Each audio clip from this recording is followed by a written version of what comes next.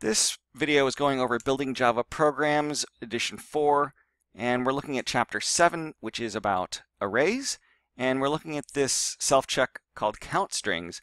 So what we're going to do is we're going to uh, design a method here. Um, we're going to leave the return type for a second. The method is called count strings, and count strings takes an array of strings, okay? So normally what we would if it was just a single string, we would do string s. But in this case, we're going to make it an array of strings, and we'll call it strings. And what we're supposed to do is return the number of occurrences that target. Okay, so target is actually a string target parameter. Okay, so we've got an array of strings and a target string. So this is going to be a single string target. Okay, so the number of times that it that target appears. So we're going to return a an int. All right. So we know that in the end we need to return the count of uh, occurrences. And we know that we've got to have a loop in here. And what do we need to do inside the loop? We need to count, uh, we need to increase count if strings are equal. Okay? Which also tells me we need to actually have a count, right? We need to initialize. Okay, let's start there, okay? int count equals 0. And we can now return count.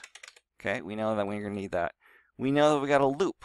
Okay, so we've learned about for loops and while loops. While loops were for indefinite numbers of items. Here we have a definite number of items, so we can use a for loop. So we can do for int index equals zero, and um, while the index is less than, um, strings dot length. Um, it's not a method, but it's a, a variable. And we're going to increment over that. And then increase the count if the strings are equal. Um, so I'll go ahead and use brackets here just because I want don't want to accidentally need them later. So if uh, now, how do we compare? We've got two different thing, strings we're going to compare, right?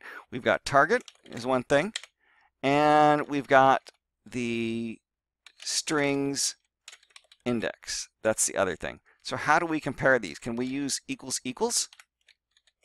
That would fail because it'll only test whether they are the exact same string. Even if they have the same contents, that's not going to work. But what we can do is we can do that strings dot index dot equals target. And if you're watching my videos, you remember me, we, me talking recently about how if we wanted to compare two arrays, we have to use arrays dot equals. Whereas for strings, we can just have the name of the string dot equals, and this works. Okay, so if they are equal, then we need to increment the count. Okay. So uh, let's see if that works. Okay, uh, strings. Okay, so that worked.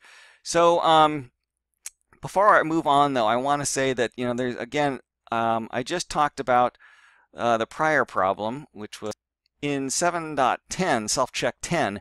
Um, we talked about how you can you can do this. This this will work, but you might try to use the new format, okay, which is, um, uh, sorry, it's going to be a string, actually. Uh, I want at least want to at least show you how this works. String s, so the, each for each string in this array of strings. Okay, so it's going to um, uh, create a string s for each element in here. So now we can say if s dot equals target count. Let's try that. So you can see that's a lot less typing, okay? It's maybe not quite as clear, but it's a lot less typing.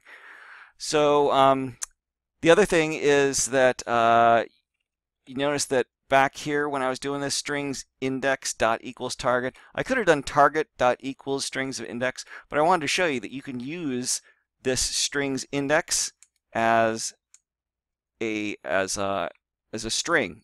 Okay, um, you can use the the brackets. You can just basically ignore that the brackets even exist because the compiler looks at this and figures out that it's a regular string. So whether you do strings dot uh, of index or you go back to this this s dot equals target that I was talking about, either way it'll work.